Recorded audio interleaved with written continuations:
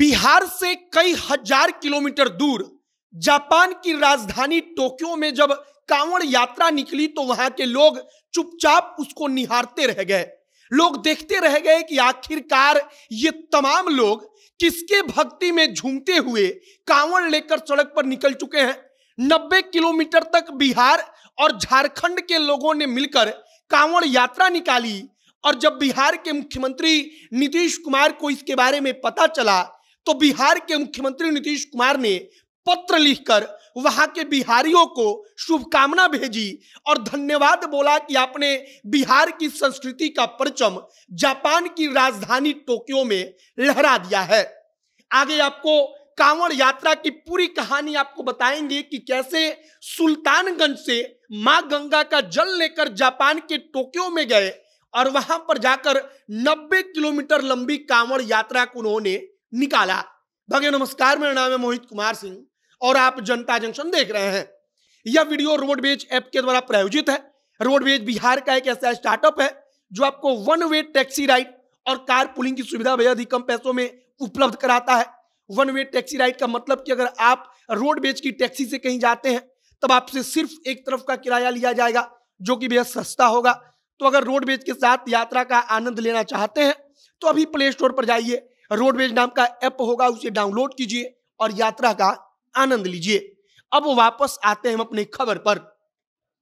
खबर के मुताबिक, जापान की राजधानी टोक्यो में बिहार और झारखंड के 250 परिवार रहते हैं और 250 परिवार अब जब वहाँ पर रहते हैं तो उन्होंने सोचा कि भगवान शिव का, भगवान भोले का सावन महीना ऐसे कैसे बीत जाए। हम लोग कांवड़ यात्रा बिहार में रहते हैं तो निकालते हैं। हम लोग कांवड़ लेकर दौड़ते हुए भगवान भोलो के दरबार में जाते हैं। तो टोक्यो में भी हम लोग कांवड़ यात्रा निकालेंगे। तैयारी शुरू होती है। सुल्तानगंज से माँ गंगा का जल मंगाया जाता है।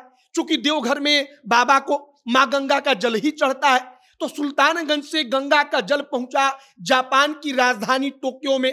कई हज़ार किलोमीटर तक जहाज़ से गंगा का जल सफ़र करता है और जब टोक्यो में उतरता है, तब उसके बाद आगे की तैयारी शुरू होती है। अब आगे की तैयारी में क्या होता है? वहाँ पर 250 जो हिंदू परिवार हैं, बिहार और झारखंड के जापान की राजधानी टोक्यो में, उन्होंने अपने हाथ से कांवड़ बनाना शुरू किया।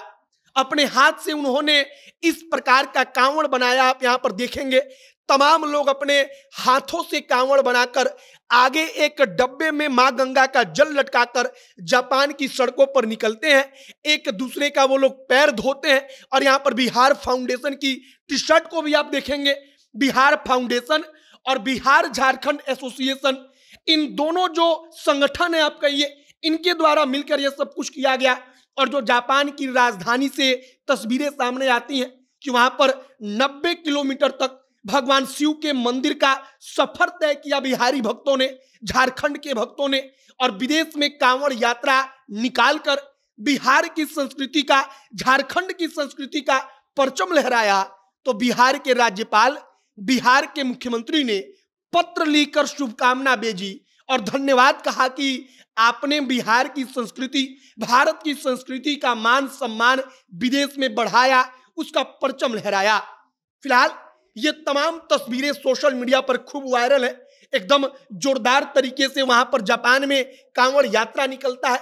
सड़क पर हर कोई देखता रह जाता है, क्या लड़के, क्या लड़कियाँ, हर कोई कांवड़ लेकर गेरुआ वस्त्र पहनकर सड़क पर जब लाइन से निकलता है तो जापानी वहाँ पर देखते रहते हैं कि आखिर अब यह क्या हो रहा है।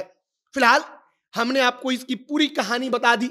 अब तक हमने का, कांवड़ यात्रा की बिहार झारखंड से हज़ारों किलोमीटर दूर जापान के राजधानी की कांवड़ यात्रा की पूरी कहानी आपको सुना दी है। आपकी क्या प्रक्रिया इस पर कमेंट बॉक्स में लिखकर बताइएगा। आगे जो भी और जानकारी आएगा सब कुछ आप तक पहुंचाएँगे। तमाम खबरों के लिए हमारे साथ बने रहिएगा। वीडियो यहीं पर समाप्त करते हैं। कैमरे से विशाल खड़े हैं और मैं मोहित कुमार सिंह। बहुत बहुत धन्यवाद।